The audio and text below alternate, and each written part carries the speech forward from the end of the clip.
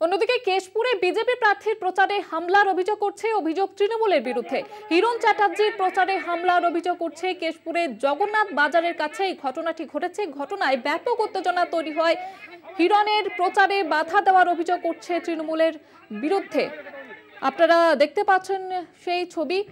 এখানে প্রচারে বেরোন তারকা প্রার্থী হিরণ চট্টোপাধ্যায় এবং তারপরে তার প্রচারে হামলার অভিযোগ করছে তৃণমূলের বিরুদ্ধে এবং এই ঘটনাকে কেন্দ্র করে ব্যাপক উত্তেজনা ছড়ায় ওই এলাকায়। কেশপুরের জগন্নাথ বাজারের কাছে এই ঘটনাটি ঘটেছে।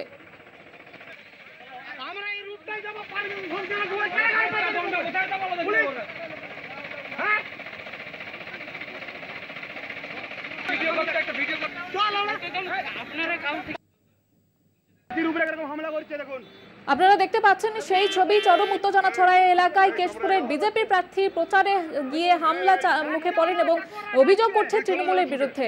কিরণ চট্টোপাধ্যায় তিনি প্রচারে বেরোন, দলীয় কর্মী সমর্থকদের সঙ্গে নিয়ে তখনই কিন্তু তার প্রচারে হামলা করা হয় বলে অভিযোগ করছে এবং এই অভিযোগের তীর তৃণমূলের বিরুদ্ধে। আপনাদের যেমনটা জানাচ্ছিলাম যে কেশপুরের জগন্নাথ বাজারের কাছে ঘটনাটি ঘটে। বিষয়ে আরও বিস্তারিতভাবে জানব। টেলিফোন লাইনে রয়েছে প্রসূন। প্রসূন কি ঘটনা ঘটেছে? ঠিক কার বিরুদ্ধে অভিযোগ এবং তৃণমূল কি বলছে বিষয়ে? এ, বিশেষ করে এই কেন গোটাল ঘাটাল সাংগঠনিক জেলাতেই মানে প্রথম থেকেই বিজেপি প্রার্থী দাবি করে আসছে যে তাদের বিভিন্ন কর্মী সমর্থকদেরকে বিভিন্নভাবে বিভিন্ন সময় ভয়ভীতি দেখানো হচ্ছে যাতে তারা বাড়ি বাড়ি যে প্রচারে তাদের যেন এ হয়। মানে না বেরোয় এই ধরনের ভয় ভয়ভীতির অভিযোগ বরাবরই করে আসছে।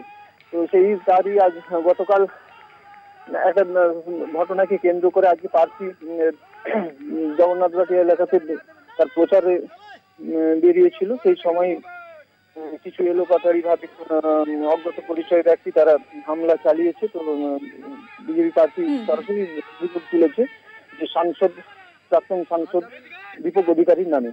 যে ওনার এতেই এই সমস্তগুলো হচ্ছে। ধন্যবাদ জানাব প্রসূন। হিরণ চট্টোপাধ্যায়, তিনি প্রচারে বেরোন এবং তখনই তার উপরে হামলার অভিযোগ করছে তৃণমূলের বিরুদ্ধে, যদিও তৃণমূলের তরফ থেকে অভিযোগ অস্বীকার করা হয়েছে। কিন্তু ঘটনায় ব্যাপক উত্তেজনা ছড়ায় ওই এলাকায়।